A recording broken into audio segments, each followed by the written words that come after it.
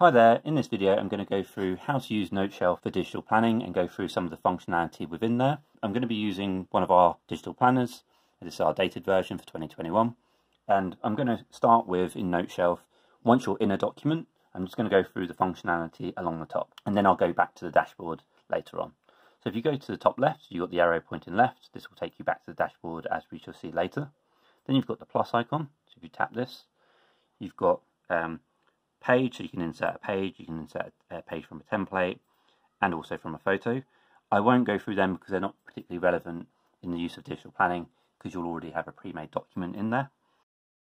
But what is useful is you can access your photos. So if you click on photo, it will come up as like an explorer where you can go into different folders and then pick your photo. Alternatively, you can go to your camera it's a black screen, but it's going to your camera, so you can then take a photo and then import it directly straight in. And then you've also got um, clip art. Now clip art's quite useful in uh, NoteShelf, so you can access all of this as free images from Pixabay. So you can just select one from here and just add it in, so just tap it, brings it in, and you can just resize it straight away, move it around to where you want it to go to. So it's quite it's quite useful collection of different stickers that you can have in there. I'm just going to delete that for now. Then if I hit the plus icon again, you can do audio, so you can record your voice. You can import a document, which adds it as, as separate pages. And you can also bookmark this page, give it orange tag. Now, if you've got obviously the undo button, and if you long press, you'll have redo as well. So we have the, the pen icon. So in here, if you tap on it, you can change different sizes. You can you can change the different pen, and you can, as I say, change the different sizes and change the different colours. You can also, as I say, edit colors. I'm just going through here. You can add a color and you can pick it on the different spectrum where you want to pick. Let me just add this. What you can do is once you've selected the colors that you would like to have, you can also select the size and then you can hit the heart icon. And what that will do is it will just save it in your favorites. So instead of having to redo that each time, you can just now go to your favorites, select the pen, and then when you write, it'll be this version. You also have the highlighter. So we have the highlighter function, so you can pick either a ballpoint pen or the, um, the, the, typical highlighter ones that is slightly um, diagonally edged. And you can change the sizes as well. And again, you've got a favorite function, you can change the colors and so on. Good thing with the highlighter function is no matter how much you highlight, you'll still be able to see the items underneath. So this is the eraser icon, and you've got different functions in here. You can change the size along the top. You can clear the whole page. I guess auto select previous tool. So probably once you've done it, it will go back to the previous tool. Erase a highlighter only. So that way, if you've got writing underneath, so let me just do this. If you've got writing underneath, you've got a highlighter over the top of it.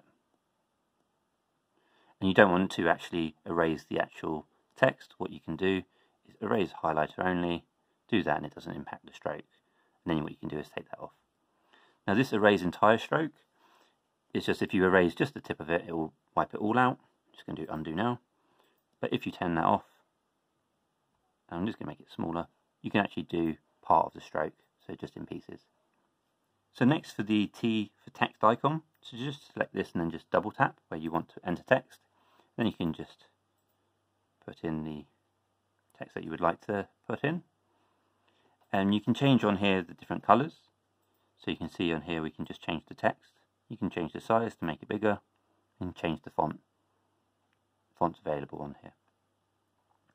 You can also center it and change then the size of the actual text box to make it the right proportion, but you can also center it if you wanted to and, and put it in there. So these are the different styles that you're able to put on. Bold, italic, underline, etc. I'm just going to go through. You do have, for example, emojis you can add in. There's some smart content, and you can connect it to get put some GIFs directly in, and some other usages on there as well.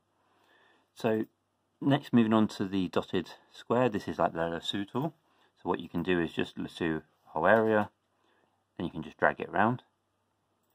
So it does allow you to multi-select multiple parts or just individual elements. What you can do is on here you can do colour and change the colour from here. So it just changes the colour of the lines or of text. And you can also resize you can resize the text, yeah, make that bigger. And same for the lines, you can resize it as you would like. So So you can use the lasso tool to also delete the objects. I'm just going to say delete and delete. You do have the functionality in here, so let's suppose I put in test. You can lasso the icon, say to test, it work, tries to work out and convert it, and then you can say convert to text box, and you can see text boxes in here. So lastly, um, so this is just the no pen icon, and what that just allows you to do is just use your finger to uh, to move around the planner, and you can tap on the hyperlinks and go through to the different pages. Now, one thing I quite like with Noteshelf is if you're actually on the pen icon, you can actually just, um, even though you can write on it, you can also tap these hyperlinks, and it tries to work out whether or not you're trying to write on it or if you're trying to use a hyperlink. So, for example, if I actually wrote on here and did that, you can see it hasn't initiated the hyperlink. But if I just tap on it, it uses a hyperlink. So it tries to work out what it is that you're trying to do or not do. We've got this shapes icon. So if you tap this, what this will do is it will snap it into place. So for example, if I try and draw a circle, you can see I make a circle and also a square, it just snaps it. So then you've also got um, this, which is the share icon. So this is how you can actually export your planner. Um, and you can, if you go all pages, you can do it as PNG or PDF. I'll show you later, but you can also do it as a Noteshelf file. So just in case you want to back up your file, um, you can do it somewhere else. So you've got the Noteshelf um, uh, format, so you can import it in with all the objects still available, so you can move them around. Okay, so let's turn off the shapes icon. If you go to this next one, it's got it is the pages one. Now I've I've already dragged this out, so you can see more uh, pages. Um, once you've done that, I'm just going to go along the top. So if we go to search and we put in, for example, test, it will search through the whole notebook and find, so you can see it's picked up our text box from earlier. Just going to clear that out. Then if you go through this one, which is like a settings, you can just look at all pages or you can look at bookmarked ones, ones that you've tagged as we did earlier. So I'm just going to tick that. And you can see now it's come up with the, uh, the January month that we had previously ticked. So this can be used if you've got certain pages that you want to be able to jump to you want to be able to do as a priority and, and quickly flick to them. Now I'm just going to go back to all pages. So then if I just go to the edit section now, so we've got edit here. So you obviously you can delete a page, let me just go to one. So you could delete a page and then hit delete and it will remove that. Or you can duplicate. So let's suppose there's a template I wanted to copy. Hit duplicate, copies it here. What you can then do, select it. Now you can move it to a different planner. So you can find a different planner you wish to add it to. But ignoring that, supposing you wanted to move it within the same planner, you just need to long press and then just drag it. And you'll go be able to go to where in the planner you want to put it to. Suppose I had it by a daily page, you can just add it in to there. And then you've got a page, for example, behind a particular daily page that you might want to use. Um, and there's various different templates such as habit trackers and goal settings and finances and so on. So different ones you're able to add through. So now if I just go back to that pages section. So now we've gone through this section here. The only other bit to note is you can just bookmark um, pages just by directly just tapping on here. And as we mentioned, if you go to this settings and go to bookmarked, they now show up. So it's just an easy way to, to flag them up. So the last bit to mention is just this uh, spanner for settings. So what you can do is change page template, which isn't relevant for, for here, and I'll show a bit later about these page templates, how you can use them outside of a particular digital planner. Obviously, you will want to toggle stylus on if you're using the stylus.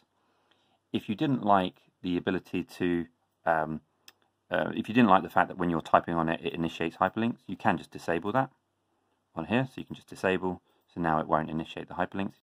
Let's suppose we wanted to bring in images into this page from a different document. What you can do go into, for example, I'm just going to move in some of these stickers. So I'm just going to circle the stickers I want, hit copy, go back, go to the planner, then just press on the lasso icon and then hit paste and it brings the it brings in the banners. Just circle it again. So you can then pick them up individually and you can resize as you would like to decorate your planner. So hopefully that helps and we do have in our stickers pack we have over a thousand different stickers in here. So um, and, and this all comes with our each of our digital planners. So you can bring them in, put them in um, to your planners and decorate as you would like. If you like this so far, please like and subscribe for more digital planning tips. Um, but now moving on to dashboard and the settings within here. This cog icon, you can do a few things such as changing the appearance, can change the colour of the, the bar at top, and whether or not you show the date that were made on each of the uh, Noteshelf documents. You can select the handwriting so it can uh, best predict what you're trying to write and also set the language. Obviously, make sure you're enabling stylus if you're using one, and you can also do it so it recognizes the sensitivity of the pressure that you apply when writing. Um, I recommend setting up a backup and then connect it to your cloud login so it, that way it would sync across and you'd always have a, a document in case there was a problem with your device. Advanced only shows the disable hyperlinks, which we've already covered a bit earlier. Um, and then we've got these free covers and page templates, which I'll come back to in a minute because they're quite useful. Um, so before I get into that, um, we've got the categories down the left-hand side so you can organize your planner, um, the, your documents so you can set them within these folders. If you just hit the folder icon with the plus icon in the bottom right, you can then just create a new category and add it. Once you've added a new category, you can just long press on one of your documents, hit move, then just select the category. So in this case, I'll do planners, just move it, and you can see that it's moved to here. So that way you can just better organize your, your documents. Then you have recently used down the left hand side. You have um, this uh, toggle, which just takes off this panel on the left. Then we've got the plus icon, so you can quick create a notebook. So this just does um, the last uh, sort of notebook you use, so it uses a um, preset front cover and the page template. You can also do a new notebook where you specify what your front cover and template you wish to use is. And then also you have, for example, important documents, photos, or even scanning a document with your camera. So I'm just going to do a quick create so you can see how it works. So quick create just creates a notebook and opens it up so you can write straight away. And I'll come back to that document in a second.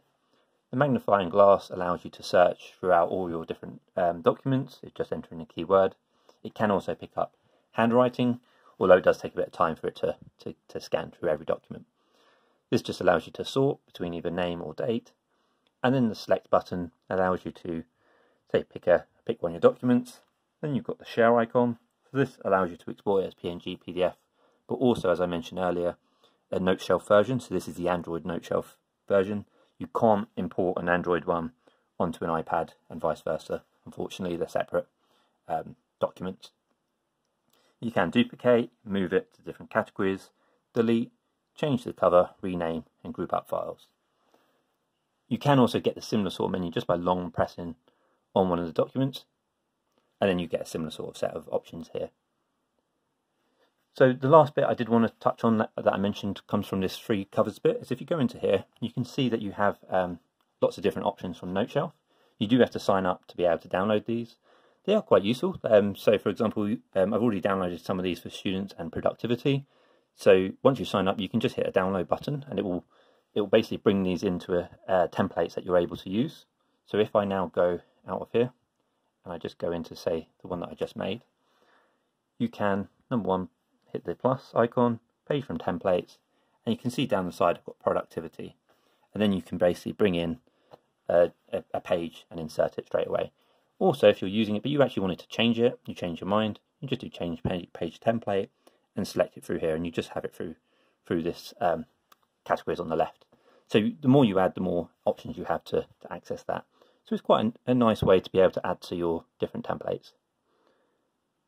Please like and subscribe if you enjoyed this video, and do check out in the description uh, more details on our digital planner and where to buy it from. It does come with over a thousand stickers, over 50 templates, and many different bundles are available so you can kind of tailor the planner to how you would like it.